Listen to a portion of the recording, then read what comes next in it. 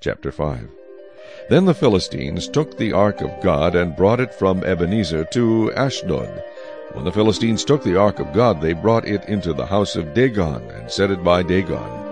And when the people of Ashdod arose early in the morning, there was Dagon fallen on its face to the earth before the ark of the Lord. So they took Dagon and set it in its place again. And when they arose early the next morning, there was Dagon fallen on its face to the ground before the ark of the Lord. The head of Dagon and both the palms of its hands were broken off on the threshold. Only Dagon's torso was left of it. Therefore neither the priests of Dagon nor any who come into Dagon's house tread on the threshold of Dagon in Ashdod to this day.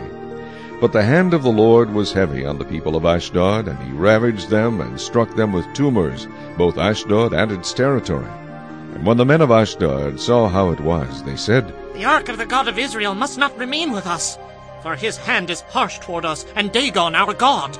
Therefore they sent and gathered to themselves all the lords of the Philistines, and said, What shall we do with the ark of the God of Israel? And they answered, Let the ark of the God of Israel be carried away to Gath. So they carried the ark of the God of Israel away. So it was, after they had carried it away, that the hand of the Lord was against the city with a very great destruction.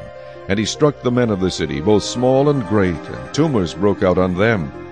Therefore they sent the ark of God to Ekron. So it was, as the ark of God came to Ekron, that the Ekronites cried out, saying, They have brought the ark of the God of Israel to us, to kill us and our people.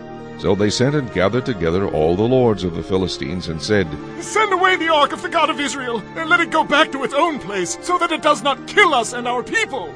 For there was a deadly destruction throughout all the city. The hand of God was very heavy there. And the men who did not die were stricken with the tumors, and the cry of the city went up to heaven.